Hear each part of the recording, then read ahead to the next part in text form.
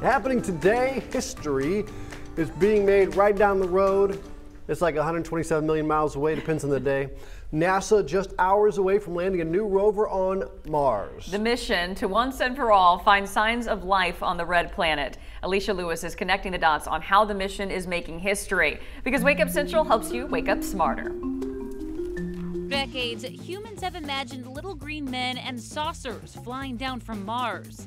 Science and space exploration have yet to prove they exist, but NASA's newest rover, Perseverance, is set out to prove that there was life on the red planet.